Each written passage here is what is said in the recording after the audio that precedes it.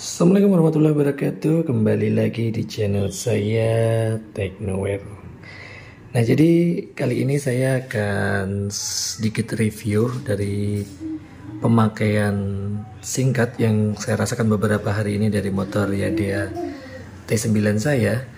Nah jadi uh, setiap kali melewati jalan yang sedikit bumpy atau jalanan kasar itu di bagian belakang spakbor sini tuh berisik bunyi tok tok tok tok tok tok gitu ya. Kayak otok otok otok gitu. Pokoknya berisik lah. Kayak ada suatu benturan. Saya pikir awalnya tadinya bunyi plat nomor ya. Karena saya plat nomornya ini masih pakai yang plastik yang simbol ya cuman saya tempelin plat nomor ya biar ringan ya. Nah ini udah nggak bunyi. Cuman ternyata gejala bunyi berisik itu masih muncul ya. Nah iseng punya iseng saya ngecek ke bagian kolong saya pikir apakah ada baut yang kendor atau semacamnya? Ternyata ketemu sumber masalahnya guys. Nah jadi masalahnya dari sini ya. Nah di sini ada lampu plat nomor. Nah ini copot ya. Saya nggak tahu apakah ini di, di dalamnya ada baut penguncinya atau seperti apa. Cuman ini kan harusnya nggak seperti ini ya. Nah jadi setiap kali lewat polisi tidur atau jalan bumpy ini tuh berarti kocak ini nih. Nah goyang gini ya. Padahal ini motor ukurannya masih baru ya kilometernya juga baru 200 km karena memang jarang saya pakai ya. Ternyata ketemu penyakitnya ini. Nah ini akan saya coba bongkar dulu apakah di dalamnya ada baut yang lepas atau pengunci yang copot ya. Oke okay, uh, eh, saya sudah siapkan kunci sok sekarang saya coba bongkar dulu. Ikuti terus video saya. Nah ini langsung aja ya. Jadi bagian bagasinya ini udah saya lepas. Bisa dilihat. Nah di sini ada satu dua tiga empat baut ya. Baut kunci 10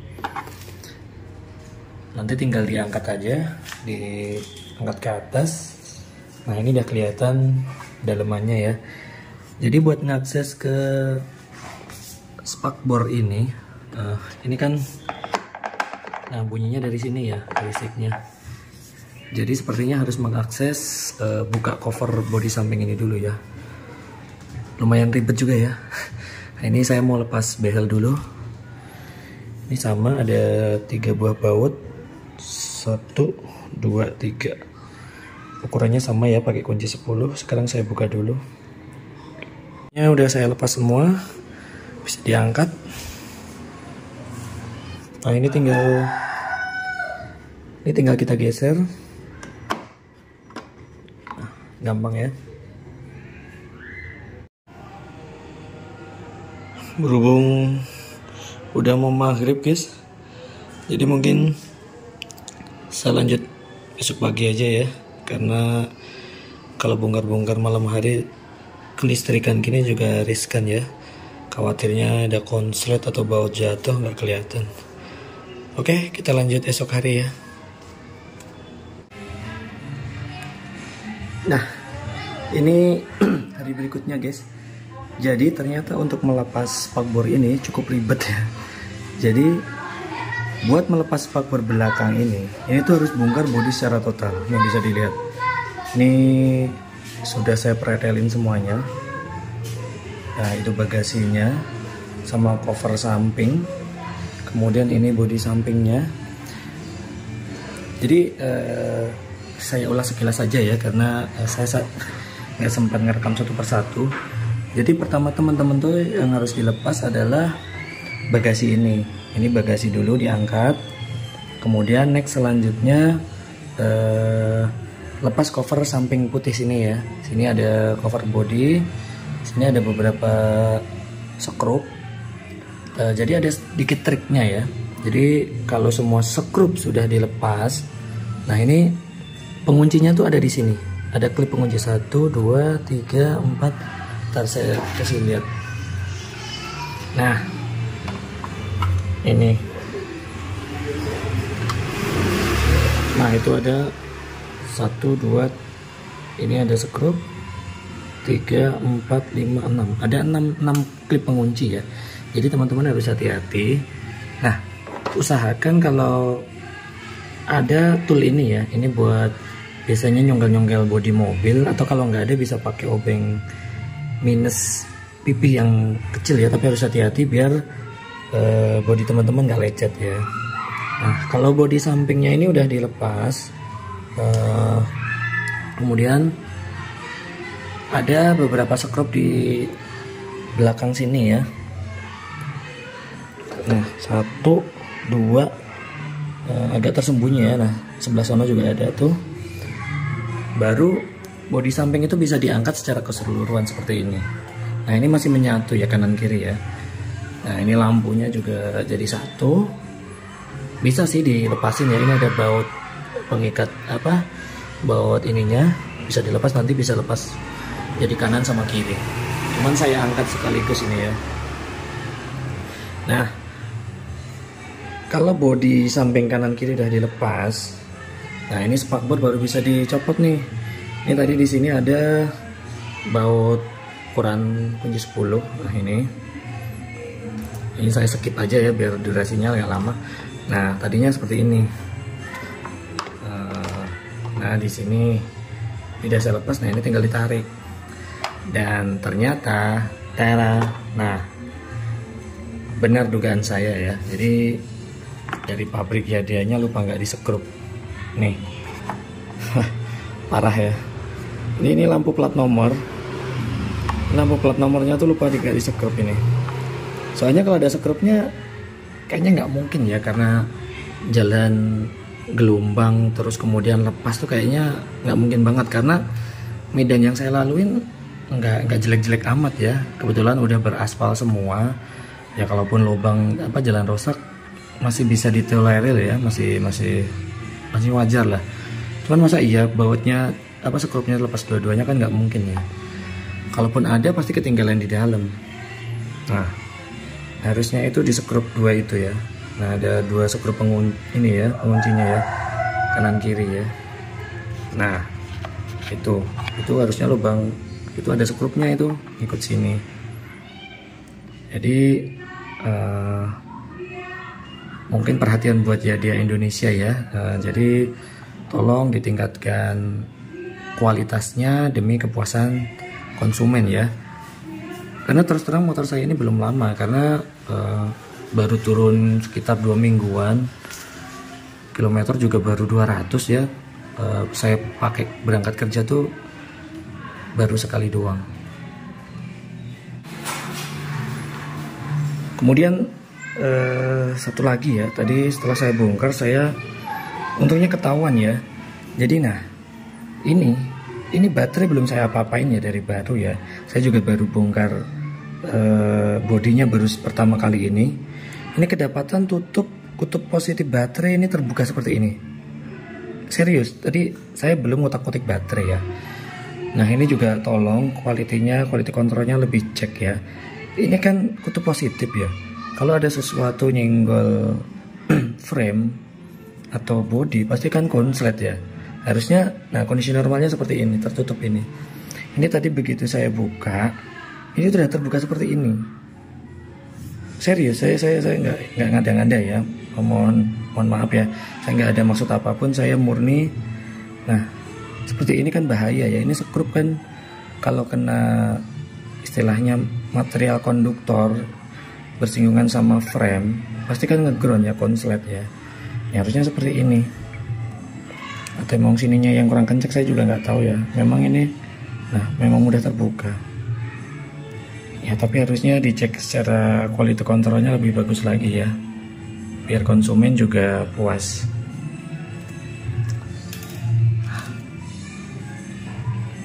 Kemudian nah ini juga ya perkabel-kabelan kan ya kabel tis itu e, murah ya maksudnya kan alangkah baiknya sini tuh di kabel tis ya biar nggak seperti ini ya. Sini bisa di kabel tis lagi. Nah ini kabel tisnya cuma di sini.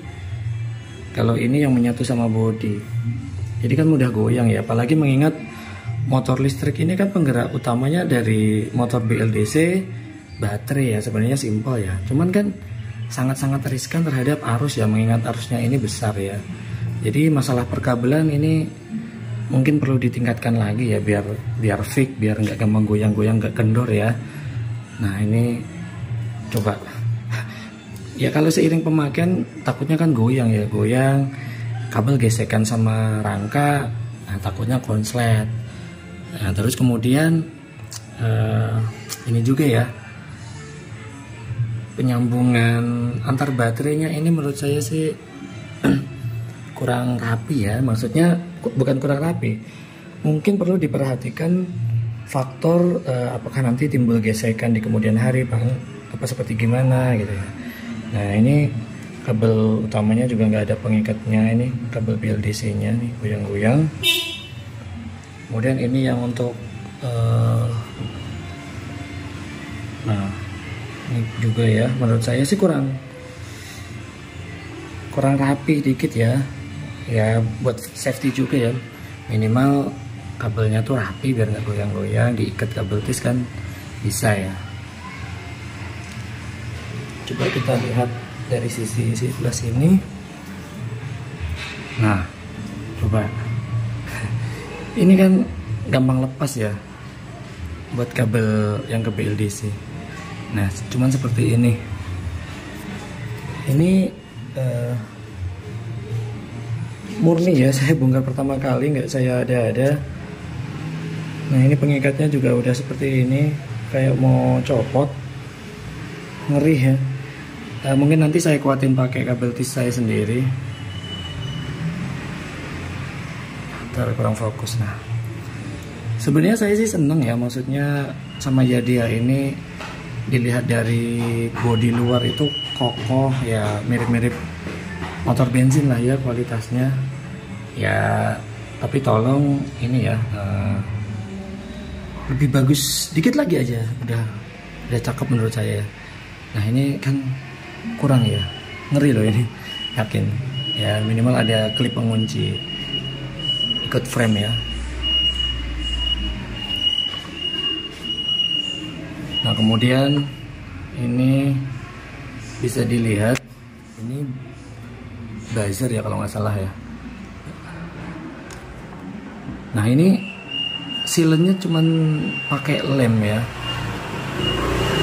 Atau nih semacam lem apa ya, ya mudah-mudahan sih rapat juga ya sealernya.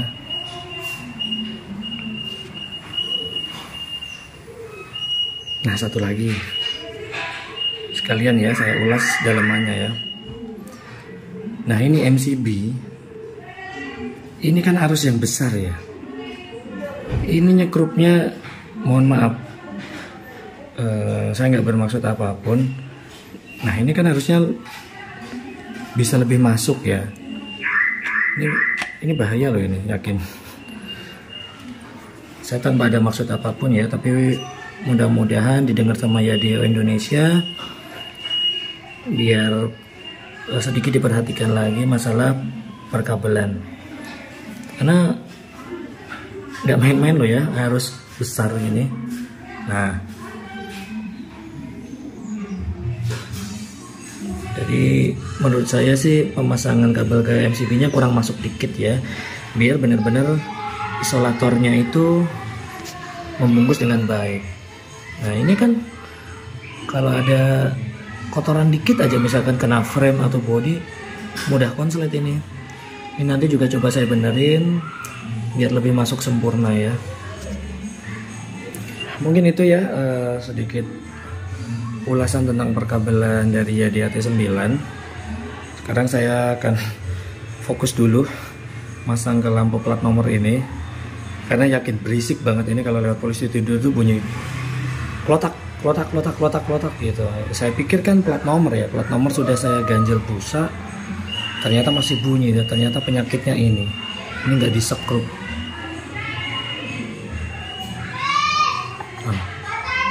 ini harusnya disekrup oke. Sekarang saya beresin dulu ya. Nah ini saya sediakan skrup ya skrup 2 nanti buat nyekrup lampu plat nomor ini. Sekarang saya pasang dulu ya. Nah ini bisa dilihat uh, skrup kiri dan kanannya udah saya pasang ya. Udah kencang lagi. Mudah-mudahan nggak bunyi berisik klotak-klotak lagi ya kalau lewat polisi tidur atau jalan yang bumpy. Nah seperti itu ya penampakan lampu plat nomornya. Sekarang saya lanjut rapikan pasang kembali body-bodinya saya assembling lagi seperti sedia kala. Oh ya sebelum body saya pasang jadi saya akan rapikan kabel yang MCB yang kelihatan dulu ya nah sebenarnya kabel yang ke MCB ini udah bagus ya udah dikasih sekun. Cuman sekunnya ini kurang kurang mepet ya kalau menurut saya ya. Karena tadi masih kelihatan celahnya. Nah ini saya pasang heat shrink kit atau selasi bakar biar lebih rapat lagi ya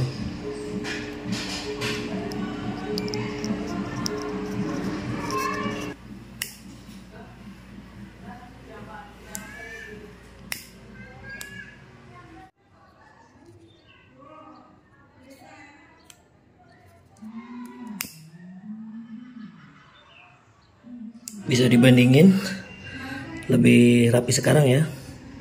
Lebih safety.